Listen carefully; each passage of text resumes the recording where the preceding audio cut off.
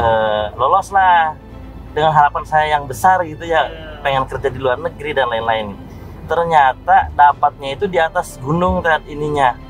Tempat kerjanya. Itu eh, di atas gunung itu kalau mau makan tadi itu harus turun ke bawah itu jalan kaki 40 menit. Saya hampir 10 kilo turun tadi itunya. Berat badan. kepikiran? Kepikiran stres ini kok mending saya di kampung dibanding saya tinggal di Jepang. Bayangin kalau antum kehilangan mobil antum bisa beli lagi. Antum kehilangan motor antum bisa beli lagi. Antum kehilangan istri antum bisa cari lagi. Iya kan? Tapi jangan ya. Saya diskusi dengan Ustadz namanya Ustadz Fatih Karim. Nah saya pikir itu Ustadz Fatih Karim itu Udah tua ya? udah tua. Kakek-kakek ya? kayak kakek kayak Ustadz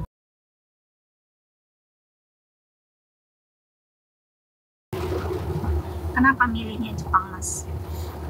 dulu itu eh, setelah selesai kuliah yang ada program kerja di luar negeri itu cuma Jepang Hmm. Cuma, Itu memang kampusnya memang banyak dulu senior-seniornya gitu banyak yang di Jepang. eh, belum waktu itu masih saya angkatan keempat Oh.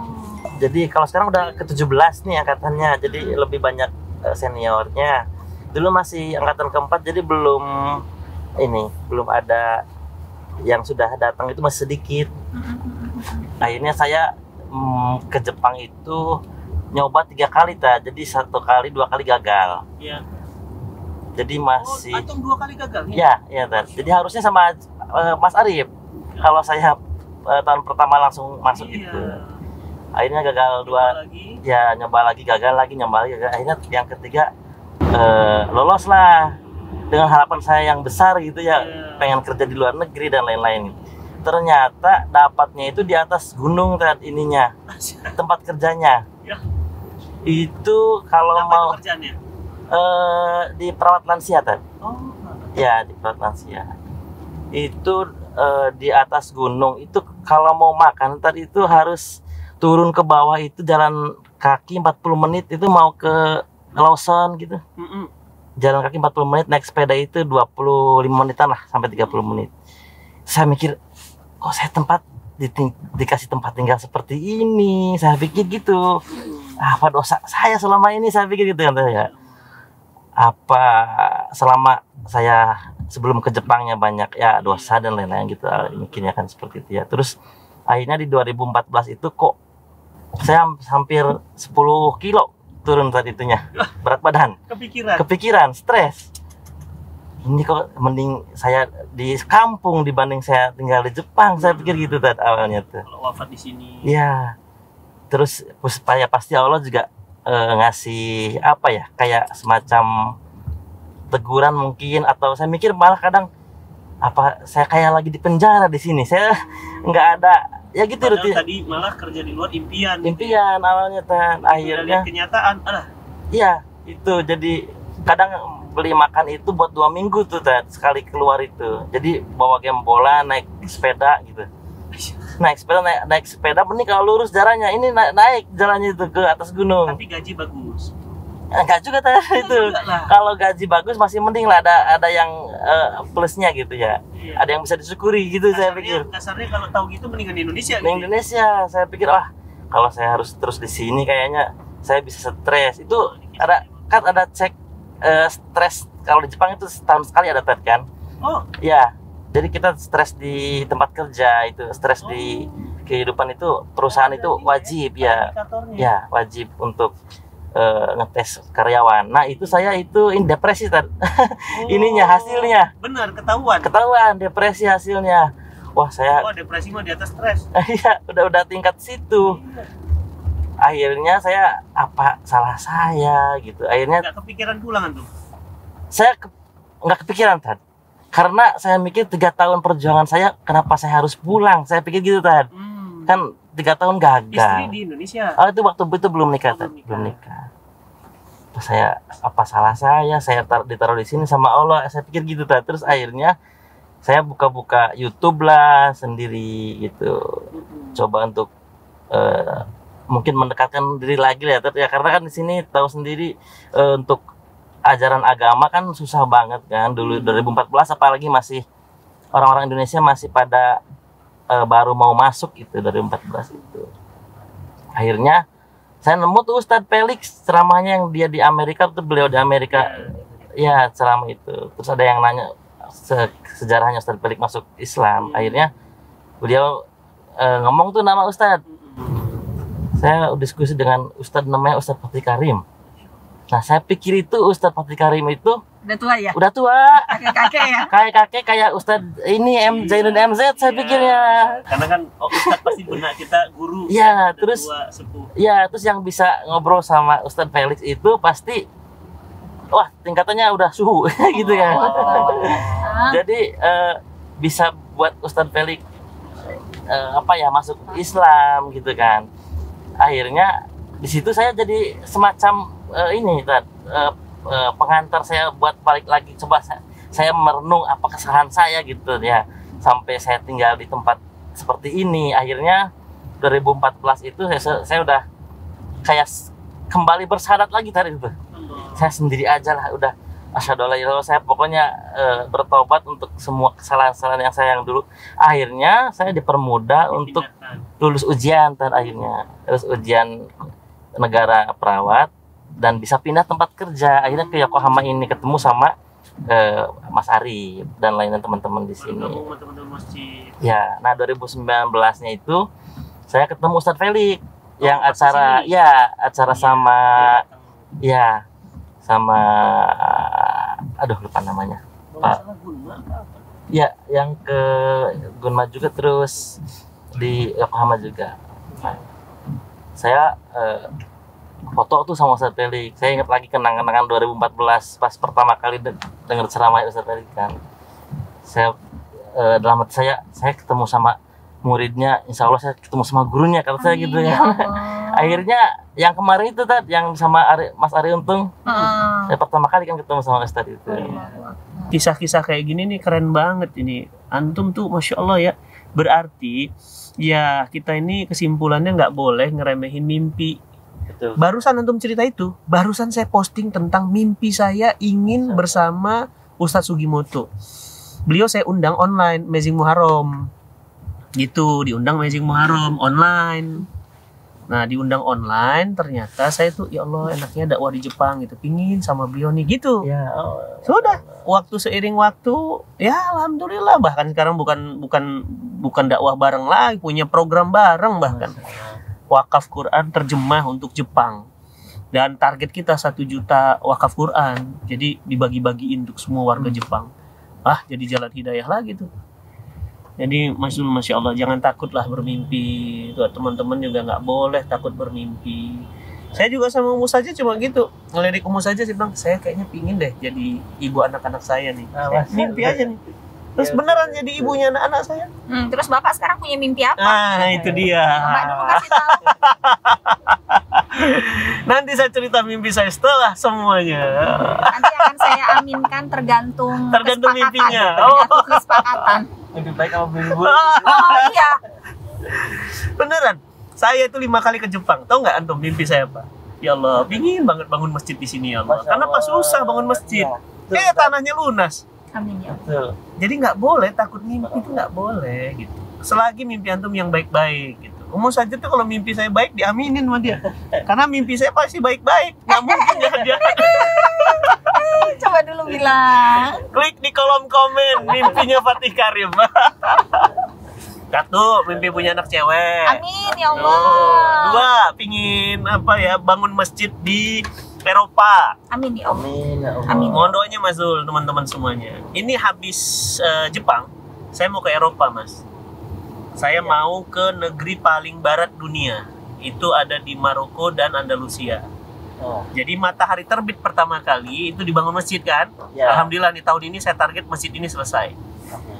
Tahun depan, mudah-mudahan umur saya masih ada, masih ada saya di dunia.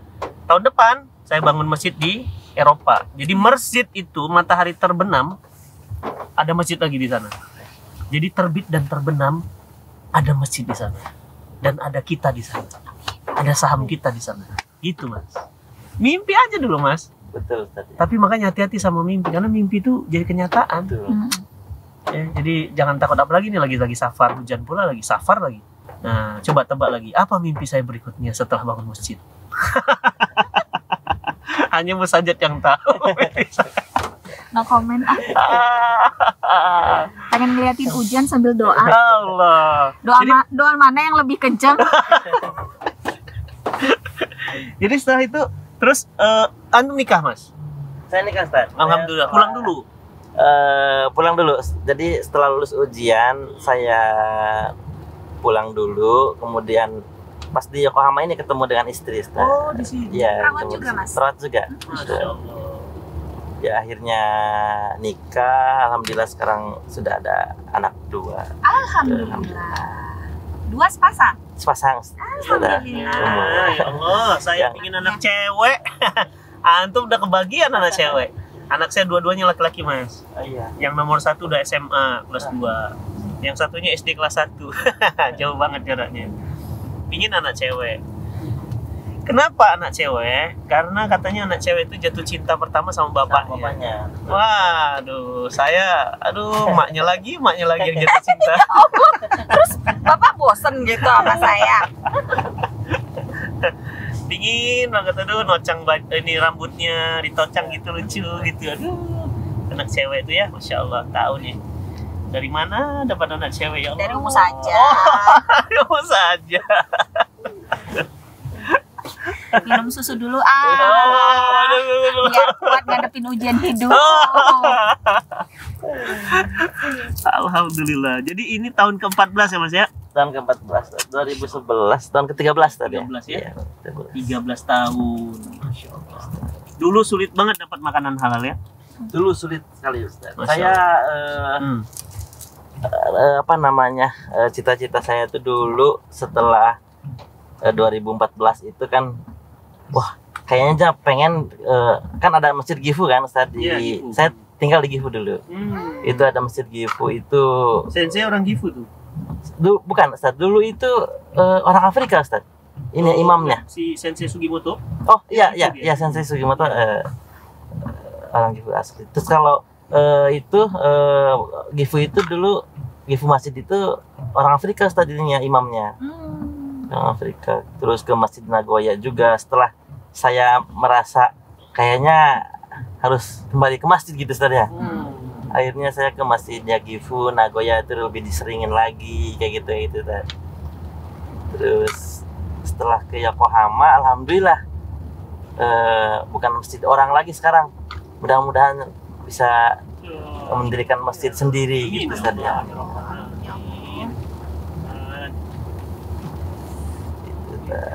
Berarti aslinya tuh mana mas? Saya dari Cirebon. Oh orang Cirebon, masya Allah. Cirebonnya kota. Cirebonnya kamu, kamu kabupaten. Jadi Oh. eh, lebih deket mau Bapak ibu masih ada. masih ada alhamdulillah. Lebih dekat ke Jawa Tengahnya Ustaz Cirebonnya. Oh Cirebon Hmm. agak ke sana ya. Jadi kalau turun mendingan nama Semarang. Ke Jakarta. Jakarta terus nah, kalau dari Jakarta masih ada kereta yang ke Cirebon gitu. Oh iya Jakarta Cirebon. Hmm, Jakarta Cirebon. Kalau yang antum rasakan untuk orang Indonesia di Jepang dan anak-anak di Jepang apa yang sangat urgent buat anak-anak? eh ini Tad, apa namanya eh, untuk pendidikan ngaji itu kalau kita fokus di rumah mungkin ya tadi ya, mungkin bisalah ngajarin ngaji anak sendiri gitu. Tapi kan kita terbagi dengan waktu. Kadang eh, anak saya yang sekarang umur 4 tahun yang pertama itu eh, yang perempuan 4 tahun itu ambil sekarang udah ikro 4 Ustaz. Hmm, itu di di apa namanya bisa di di belakang kesibukan saya gitu ya kalau pulang aduh udah capek banget ngantuk anak ayah ngaji ngaji wa ngaji wa gitu ngaji wa tuh wa tuh kan bahasa Jepang tuh saja Heeh. Hmm. kalau ngajinya kapan gitu Heeh. kadang ada perasaan aduh saya capek sekali hari ini Hmm. liburin aja apa ya tapi kalau kayak gitu nanti Hmm. kapan lagi ada waktu buat ngajarin ngaji anak lagi semangat gitu jadi Hmm. ya udah lima 5-10 menit nggak apa yang penting dia eh, ap- tidak lupa huruf-huruf hijaiyahnya itu kan. Mungkin ngaji dan sejarah Islam kali Ustadz ya. Jadi iya. Kayak eh, apa namanya Rasul sejarah sejarah Rasul kayak gitu gitu Ustaz ya. Itu yang masih belum maksimal ya. yang masih belum maksimal. Jadi kalau nanti kalau nanti misalkan ada eh, pendidikan untuk anak jadi nanti setelah pendidikan formalnya gitu sorenya kayak madrasah kita Ustaz, di Indonesia itu eh, ya urgent banget untuk anak-anak yang tinggal di sini anak-anak kecilnya Ustaz. Nah kebetulan itu di samping masjid kita sekarang itu tanahnya kosong, Iya. tanahnya kosong sebelah kiri pas banget nggak tahu kenapa kita dapat masjid kok tanahnya kosong. Saya tuh udah ngebatin tuh ini tanah kayaknya dijual deh. Nah Iya. saya ada rencana ya mimpi lagi nih. Mimpi aja dulu. Saya ada impian keinginan itu mau kita akuisisi tuh tanah sebelah tuh. Eh, besarnya dua kali dari tanah sekarang. Tapi saya yakin itu pasti dijual dan kita bisa beli itu. Nah rencananya itu mau dibangun sekolah generasi Quran di Jepang yang akan mencetak ulama-ulama sejak dini di Jepang. Kebayang ya tahun 2030 2050 kita udah nggak ada. Tapi masya Allah gitu ya ulama-ulama besar justru lahir dari sini tuh. Ustaz. matanya sipit ya tapi cerdas-cerdas pinter-pinter dan itu ulama semuanya. Nah jadi pingin banget. Pingin banget. Saya ambil yang sebelah itu mas. Sama sebelah lagi rumah tua yang diisi orang tua Iya. doa kita apa kalau rumahnya udah tua orangnya udah tua doanya dapat hidayah Dapat ya kan Ah. nah Nanti- kita minum ala nabi dulu hmm. Hmm. Yang paling yang paling pertama bersahadat. Eh, Hmm. orang yang di sampingnya itu orang tua itu. Hmm. Jadi waktu saya ke sana tuh, tuh sepi banget rumahnya. Sedih memang mas ya, potret orang Ya, Jepang itu ya. antara anak sama orang tua jauh ya. ya betul Ustaz. Dan anak tuh kayak nggak peduli orang tua lagi ya. Antum kerasa nggak kan perawat orang tua? Ya Ustaz, jadi eh, mungkin karena kesibukan dan tidak ada dalam pikiran mereka kalau memuliakan orang tua itu Berpahala. berpahala. Ada nilainya. Jadi itulah yang buat mereka men- kayak semacam kalau dibilang menerlantarkan mungkin terlalu ini ya tadi. Jadi tidak ya diurusnya dimasukkan ke panti. Kalau atau kalau enggak mereka tinggalkan eh, orang tuanya di rumahnya gitu sendirian gitu. Itu masih banyak yang seperti itu Ustaz. Karena nggak ada pikiran mereka kalau merawat orang tua itu pahalanya sangat besar itu kan. Saya kemarin ada yang baru meninggal satu di tempat tinggal di tempat kerja Iya. eh, nenek-nenek umur 100 tahun kan Ya Allah. Oh. Ya Allah. itu pas sakaratul mautnya saya dampingin karena pas itu saya di semalam Ustaz Wah itu bisa disadarkan nih. nah saya saya sahadat Iya. sebelum saya sahadat kan itu bisa bagus. itu ini Ustaz kayak yang susah dia napasnya Oh, napasnya itu susah. ya kayak yang eh, untuk untuk kelepasnya itu rohnya itu kayak yang sulit gitu kelihatannya coba saya bimbing tuh setelah santai kerjaan nggak ada yang lain terus coba saya bimbing. Ya mudah-mudahan kalau untuk ngikutin udah nggak su- udah nggak bisa karena udah sudah mungkin lima eh, apa ya lima 10 menit lagi lah gitu ininya tuh waktunya. Akhirnya eh, saya bimbing tuh denger ya dengerin ya saya seperti itu. Terus eh, saya bimbingnya asyhadu gitu sampai eh, selesai akhirnya 10 menit kemudian Allah. ya dia sudah tidak Wafat. ada ya wafat Ustaz. Ya itu ya kemarin mudah-mudahan dalam mantap. hatinya Nah, dalam hatinya itu mengikuti Iya, dia iya betul. Kan telinga masih bisa dengar. Ya, bisa mendengar Dan ibu saya kan baru tiga minggu ini wafat mas. oh iya. Mm-mm, Saya tiga minggu ini saya nemenin banget itu sampai nafas terakhirnya. Ya karena udah di ICU ya, Iya. itu kan udah nggak bisa apa-apa gitu. Iya.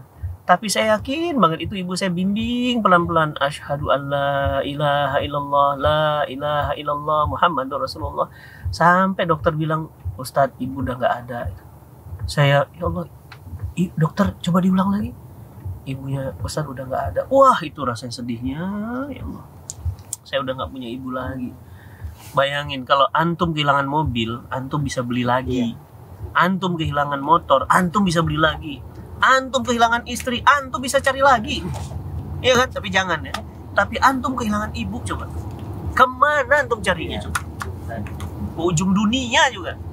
Nunggeng antum, timur jadi barat, barat jadi timur. Mau punya duit sebanyak gunung dan seisinya, bumi dan seisinya nggak punya ibu. Tuh. Ya Allah, antum yang masih punya ibu ya, dari Do masih punya ibu, Masul masih punya ibu, sayangin deh beneran dah. Ini saya nih jam segini biasanya di telepon ini sama ibu saya. Tanyain lagi ngapain di sana? Udah makan apa? Enak ya bisa jalan-jalan. Mama nggak bisa lagi udah pakai kursi roda. Emak saya tuh kayak gitu.